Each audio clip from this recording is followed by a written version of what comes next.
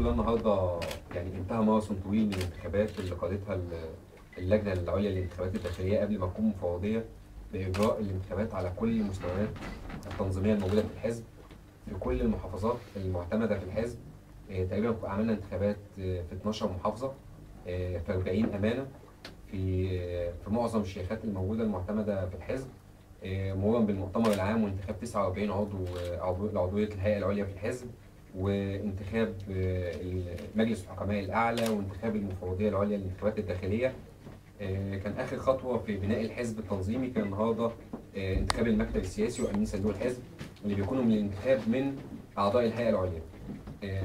كان تقدم للانتخابات اللي على أمين الصندوق مرشحين فاز النهارده مرشح منهم اللي هو الأستاذ ممدوح محمود إبراهيم الشايب. هو أصبح أمين أمين صندوق الحزب.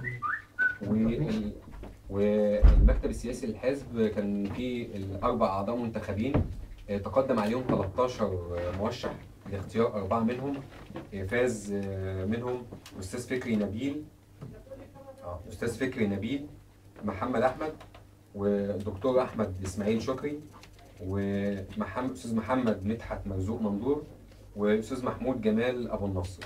بكده آه، كانت نسبة الحضور النهارده غير مسبوقة تقريبا إن الحضور للتص- للتصويت كان عمل 90 و4 من 10% من من لهم حق التصويت في في الهيئة العليا وده يعتبر رقم رقم كبير بيدينا تفاؤل إن شاء الله.